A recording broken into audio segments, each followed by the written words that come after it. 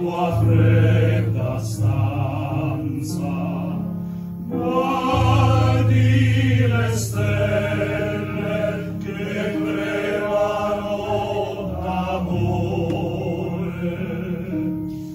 e di speranza.